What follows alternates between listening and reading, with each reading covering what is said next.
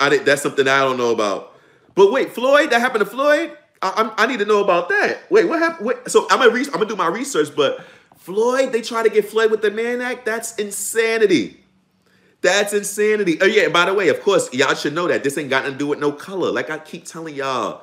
And people try to make the Mann Act be this is against um they just don't want um white and black people to be together. No, that has nothing. They, they didn't want Jack. They didn't want Jack Johnson to date his or have his his so-called white um, woman. But the Mann Act is to stop. It's a real thing. So they really tried to stop or minimize. They. They, the Mann Act really was for the mafia, to be honest, if we really want to think about it. That's who really was able to control the market. The mafia was directly on this uh, unbelievable amount of historical data we have to prove that the mafia was working with law enforcement. It's it's just ridiculous for me to even try to say that. But the only catch is people don't like to understand that because now that times is different. All we know is the mafia movies, and we see that the FBI and the agents and the, the NYPD and LIPD they set up all these mafia in Chicago. They set up all these people and they got them um, already killed or in jail. But no, no, no, no, no, no, no. You ain't gonna erase her history like that. They was directly working with each other, and so much so that when you think about the Mann Act and having, if you have we could say it if you have illegal prostitution that has been legalized by the underground underworld market or the underground created a bubble where there's a protection here and somebody pays a tax to people in law said law enforcement agencies and this said tax is more money than a law enforcement agent makes all year and this said tax is a tax that they get taxed every month they are going to clearly be corrupted. These are not people who are was making the biggest bucks as as whatever agent. Or if you have a bunch of warriors and bunch of soldiers, they are the ones who's getting paid the least. The officers in command are getting paid the most. And even if those officers in command ain't getting paid enough, they'll even be able to be flipped. So the Mann Act for y'all don't who understand how this will work for people who's working in the underground work market. If I can stop everybody in New York from keeping their whatever rings that they got with the P's, if they keep them in check and they can't travel now, you're not gonna be able to travel the way I'm about to travel. I could about to- I could do a tour now. I got a whole bubble cover me underground. I got a whole market of people who protected me. So now they can go do all type of thing and their trafficking ring goes to a whole nother level with that stuff. That's how these things work. And that's why when we say that the underground, sometimes the prisons, the prisons have some of these people. It's not that the it's it, for those who don't understand this completely, it's not that the prisons have the most genius minds. Yeah, we got some MacGyvers who can do all type of stuff in jails and make all type of oh, y'all already know. I some of the best pictures I've ever seen in my life. I thought it was from Picasso, came from inmates in jail who were sending prison things back home. Whatever, I'm gonna leave that at that. At that. I seen some of the most I still got the visions and shout out to everybody who kept their who kept their um their portraits, their happy day birthday cards and stuff from artists who didn't have regular pen pay, they didn't have canvas. They the canvas was made out of all type of cardboard that was glued and it was phenomenal. So shout out to all the MacGyvers. But if we can't be, we got to be honest. The MacGyvers were in the streets and had ties and ended up in jail and they kept their power in jail. That's why the power still stays in jails for the most part. And most people who own and run these organizations end up, if they're not dead, they're in jail. So that's the real reason why the jails run everything. And the jails are running some heinous things if you think about it. I don't have shout outs to everybody, like I said, if you're doing things righteously, but the amount of innocent victims that are getting abused in these jails, the sister that just got they somebody was it happened to a sister and a brother. Somebody went in there. We're gonna talk about schizophrenia because that has something to do with Chris Dorner today. This guy is schizophrenic. He goes into I don't want to say the real the jail name. He goes into a local jail. There's an actual case about this right now, so I'm it's it's open, it's really going on, and I don't want I definitely want to say something that's going to affect the family because I'm gonna speak real about this. So this guy is schizophrenic. They the officers who arrested him, they he's doing stuff. They viewed him as throwing up gang signs. Now let me say something too they're trying to say that he's in a neighborhood that have gangs in it. What neighborhood in our inner cities do not have a gang in it? Now, I'm not even talking about a major gang. What Nate? What? So you can say that about anywhere, anybody who lives anywhere, even in a lot of suburban places and, and rural areas. Anyway, back to the story. He goes. They put him into a gang unit. Somebody who should have been in some med- somebody who was falsely arrested as well. By the way, he was arrested because they had he had a warrant out for his arrest, and they say the claim is that he missed the court case, and that's why he had the warrant.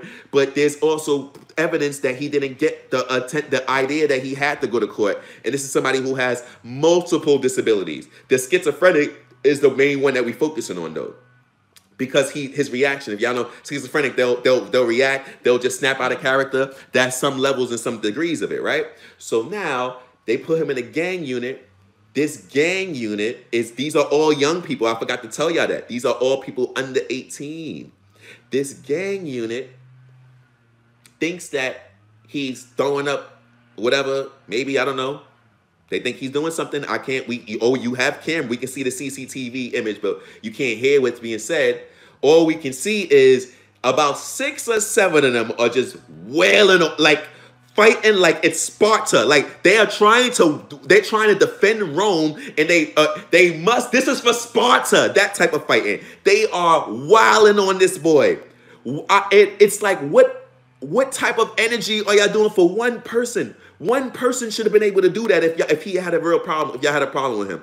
But obviously these kids they got their own issues. If you doing that to somebody like that just for, I don't care what he did or said, you kill you wallow on him like that, that's different. But they took it to the next level. He stomped out on the floor, bleeding, and he's like trying to move and trying to survive. There's officers that's on camera just walking by, looking and walking away. This thing lasted for two minutes. They beat this guy bloody for two minutes. But what happens at the end? Where's the cherry on top of this insanity? This is why I can't say nothing. There's a case going on right now. After the officer walks away. Be, oh, yeah, no. When the officer walks, at first, the guy stop. And then the last person sees the officer and he's throwing another kick. And then he walks away towards the group. When they get to the group, they see the officer he walking. One of the guys walk past the guy Get some type of thing. You can't see it because it's all blurry, but it's a microwave. We know it's a microwave. Takes the microwave, throws the microwave on this guy's head, and he's right now in a medically induced coma. Let me explain one time before I read the chat. A medically induced coma means they had to put him in a coma to, to make him survive because of all the stuff that they have to do to him. Whoo-wee. The court cases that's about to come for that family. This will we don't need to talk. Y'all can look this up. The, um, if they play this right, they need to serve some serious justice. And like I said, the prisons are ran right now by a lot of unrighteous savages. And because a lot of us are from the streets, we want to acknowledge that, yeah, you in just because you're in jail, you're not wrong. You're not wrong. You're not wrong at all. And there's a lot of great, good people who are innocent in there. We know that. We are not talking about them. The savagery that's in there is a problem. That needs some re real rehabilitation. And for anybody, if that was somebody who was a shot caller who said that guy deserved that, ooh, you deserve some serious justice. Let me see what y'all talking about though. We're gonna get to the um thing though. Um, the 16 letter. Oh, that's hilarious. I'm I'm catching what you're saying right now. I at first I'm like, whoa, you like I didn't like oh maybe I didn't read who it was. I thought you was talking about Adam 22. when they say Adam 16. That's why I'm like, wait, you playing around? You joking around? That's hilarious. I thought you I was I swear you was going towards like the slap the sharp um concept. Let's see who are the 10 percenters. The rich, the slave makers, the fuck, the poor who teach the poor lies to believe the almighty true and living God is oh yeah, you going in right now. Cardi TV is cooking otherwise known as the bloodsuckers of the poor, right? Those the ten percenters. Those the ten percenters are the and, and the unknown as well, or the ones who are seek to be unknown, the ones who are spoken to be. You're not supposed to talk about them, and the, these these wicked these these people who savage and harm they feast off of the poor they reign over the poor they reign over the righteous right poor righteous souls they are also people who are now teachers people who are judges people who are lawyers and people who are even cops let's finish up our introduction before we start going into the poll and we get into our votes chris dorner now I'm gonna right now because I said so much about him. Let me reverse and I'm gonna give y'all the conclusion and I'm gonna fill anybody in on the blanks. Right now, today, the news is Chris Dorner has a his gun that he owned has been used by a group or a gang of so-called Latin um they're trying to in my eyes I think they're trying to say that they're migrants but Latin descent, They're from Latin descent. That's all they we really get in their, their background. They just got pictures and that's what they said. So I guess I don't know what they know about these guys. Here's the purpose and point of this. Chris Dorner was supposedly unalive in 2013. So if February 2013, he's gone somebody who worked for the LAPD, somebody who was who was in, working he he he, he was a, um served in the Navy, somebody who we about to talk about. He had an intense case about the LAPD. His gun that he was in a house for, and he created a manifesto. There was a so-called manhunt for him he had a house full of these guns that we know of. He spoke about them. Anderson Cooper allegedly said he sent him the video where he shot up a, a coin from 100 yards away. He had sniper guns. He had sniper rifles. He had all these ammunitions. And he burnt down and burnt his whole house down. You're telling us now that some way, somehow, migrants who came from outside of this country, they came into California they came into California and somehow, after 11 plus years, they have Christopher Dorner's gun, and then they're part of an underground organization that is allowing, that is targeting the richest of the rich people in California. What migrant has this information and this power and this connection to law enforcement to get something that would be, if y'all don't know, where, where would that go, guys? Come on, y'all. Let's go, guys. If Christopher Dorner, he let's say that he all of his guns, and, and by the way, the gun that they found is nice and polished, it's nice and clean. You can clean a gun, but if a gun survives from all type of hardship made out of with that hard, you're gonna see some marks. That gun look very nice and clean. Interesting. So how would something that would be a great gun like that, that survived this fire, went into police evidence, now is in the hands of a local underground organization in California of men with Latin descent who are going around targeting the rich and wealthy in California? Woo! Content Cardi TV, as the first thing I said, Dirty Cop, we have to talk about it. Yes. Yes, yes, yes, yes, yes. Deeper conspiracy here. They were hired mercenaries that kept the guns. Now we talking. What y'all know about the executioners?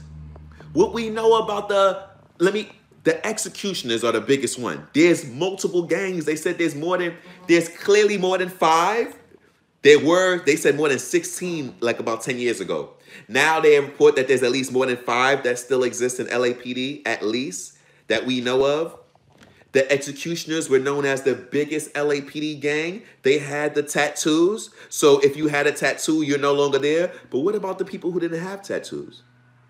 So you, we, we thinking that this thing is gone? Let's talk about why we're talking about dirty cops right now. Christopher Dorner now. We need to know his story. This is not that deep. Christopher Dorner, he worked for the Navy. He worked in the Navy. Then he stopped and he went to be reserve or whatever. He, as a reservist in the Navy, he just goes once a month, if y'all don't know, for one week in a month. Then he started working in the LAPD. He went to college, by the way, so he's in the Navy as an officer. So this is a college, no, you need to get his full story. Christopher Dorner started out living in California, and he was in an area let me get that right. He was living in a suburb, suburban area. Let me not say it might not have been in California to start with.